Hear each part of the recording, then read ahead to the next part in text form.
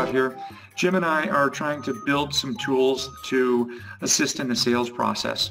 And uh, one of those tools that I want to demonstrate right now is a dashboard um, that you could pull up on your phone. And here's a here's a little older version of the dashboard than what I'm going to show you whoops, on this demo. But basic idea is you can pull up the dashboard and it's branded with Self Solutions and we'll put some cool visuals on there that you can show to your customers.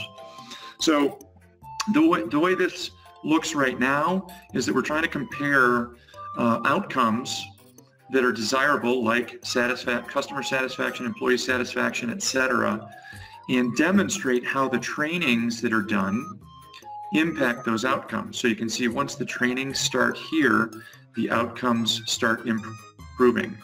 And um, so the combination of doing trainings and also presenting the analytics, we think that's a powerful one-two punch. If the customer already has the trainings but not the analytics, there's your opportunity.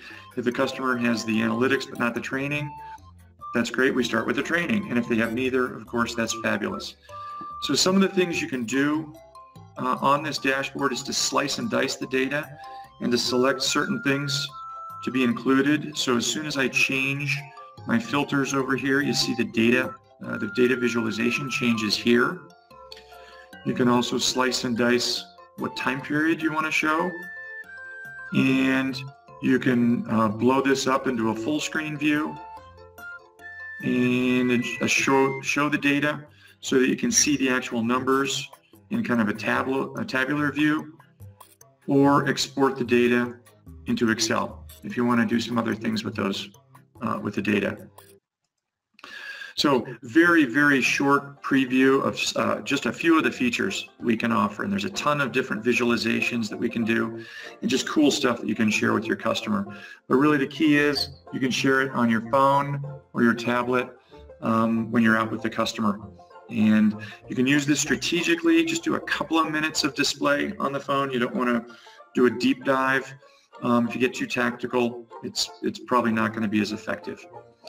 Um, what else did I want to add? I think the I think those are the key points. Uh, we can also integrate customer data in here. If they want to give us information from their systems on customer satisfaction or other things, we can we can layer that in. So I think that's it. Thanks so much.